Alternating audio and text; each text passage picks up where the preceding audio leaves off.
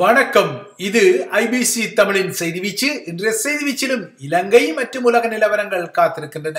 இலங்கையில் எரிபொருள் விநியோகத்தை மையப்படுத்தி இந்த வருட கோடை காலத்திலும் ஒரு மக்கள் கொந்தளிப்பை உருவாக்கி கொள்ள முயற்சிகள் எடுக்கப்படுவதான ஐயம் ஸ்ரீலங்கா அரசாங்கத்துக்கு ஏற்பட்டுள்ளதால் இந்த விடயத்தில் கடுமையான ஒரு சாட்டியை எடுக்க அது தலைப்படுகின்றது அந்த வகையில் எரிபொருள் களஞ்சிய முனையங்களில் இருந்து எரிபொருளை விநியோகிக்க மறுத்து பணியாளர்கள் பணி புறக்கணிப்புகளை தொடர்வதால் காவல்துறை மற்றும் ராணுவத்தின் உதவியுடன் கொலன்னாவை மற்றும் முத்துராஜவல முனியங்களில் இருந்து இன்று காலை எரிபொருள் விநியோகம் ஆரம்பமாகியுள்ளதாக அரசாங்கம் அறிவித்துள்ளது.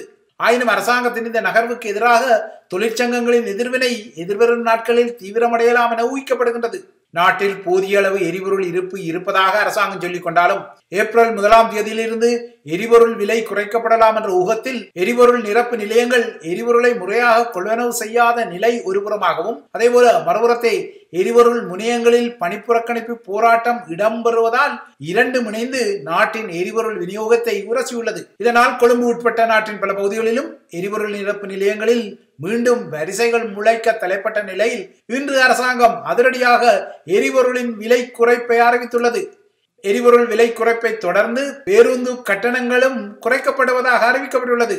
இலங்கை பெட்ரோலிய கூட்டுத்தாபனத்தின் இருப்பை பலவீனப்படுத்தும் வகையில் பெட்ரோலிய இறக்குமதியில் வெளிநாட்டு நிறுவனங்களுக்கு வழங்க உள்ள அனுமதியை எதிர்த்து எரிசக்தி வள ஊழியர்கள் நேற்று முன்தினம் முதல் தமது போராட்டத்தை ஆரம்பித்துள்ளனர்.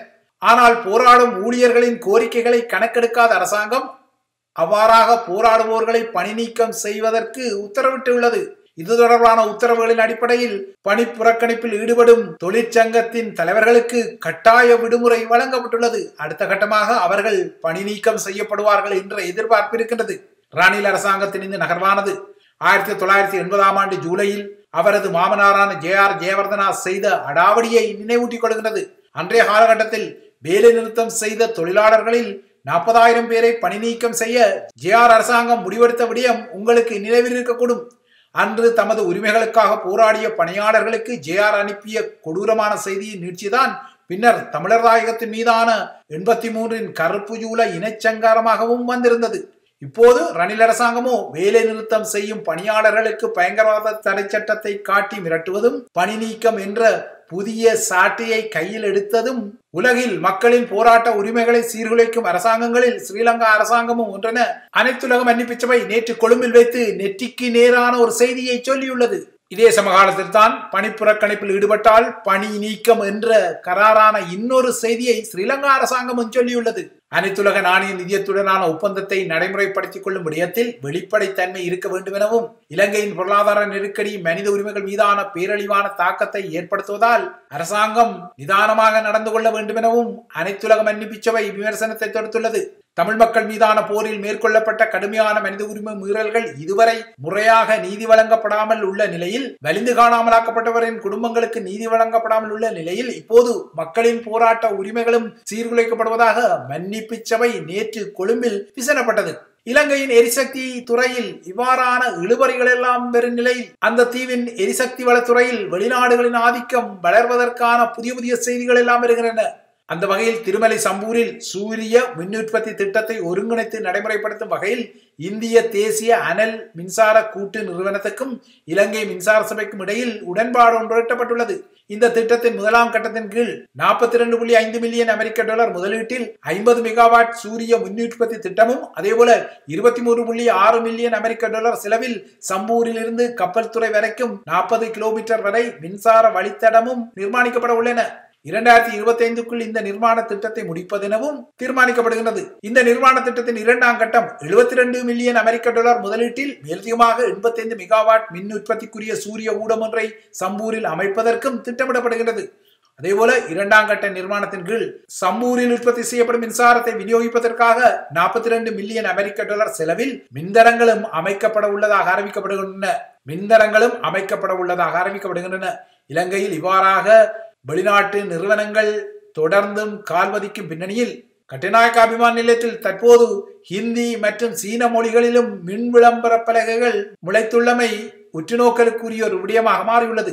இவை இலங்கையை மையப்படுத்திய விடயங்கள். அடுத்து உலக நிலவரங்களை நோக்கிக் கொண்டால் உக்ரைன் தனக்கு கிட்டிய மேற்குலகின் போர் தாங்கிகள் உட்பட்ட புதிய ஆயுத தளவாளங்களுடன் புதிய போர் வியூகம் ஒன்றுக்கு தயாராகியுள்ளது. உக்ரைன் தனது துருப்புக்களுக்கு ஊக்கமளித்து எதிரியான ரஷ்யாவை சோர்வடைய வைக்கும் உளவியல் போர் யுக்தியுடன் இந்த நகர்வை திட்டமிடுகின்றது. தற்போது உக்ரைனுக்கு கிட்டிய ஆயுத தளவாடங்களில் பிரான்சின் ஏஎம்எக்ஸ் டென் ஆர்சி இலகுரக போர்த்தாங்கிகளும் உள்ளடக்கப்பட்டுள்ளன. இவற்றில் பதினான்கு அலகுகள் வழங்கப்பட்டுள்ளதாக தெரிய வருகின்றது ஏற்கனவே ஜெர்மனியின் லெப்பாட் டூ போர்த்தாங்கிகளில் பதினெட்டு அலகுகளும் அதேபோல பிரித்தானியாவின் சேலஞ்சர் போர்த்தாங்கிகளில் சில அலகுகளும் அமெரிக்காவின் ஸ்ட்ரைக்கர் மற்றும் ஹூகர் ஆகிய கவச வாகனங்களும் ஜெர்மனியின் மாடர் கவச வாகனங்களும் வழங்கப்பட்டுள்ளன. இதேபோல போலந்து கனேடிய ஆயுத தளவாடங்களும் உபகரணங்களும் உக்ரைனுக்கு கிட்டியுள்ளன.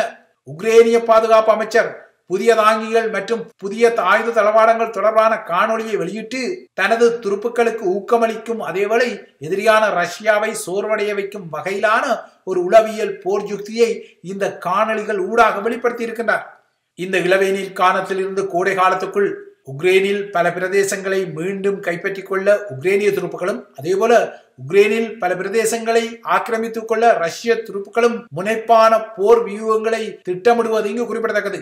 அடுத்ததாக ஏப்ரல் மாதமே இன்னும் பிறக்கவில்லை.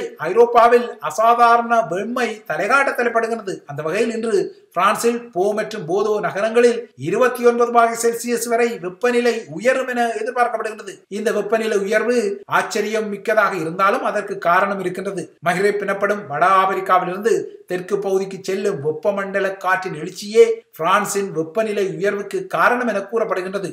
இவைதான் செய்தி வீச்சின் இன்றைய முக்கிய விடயங்கள். தொடர்ந்தும் ஐபிசி தமிழுடன் இணைந்திருங்கள்.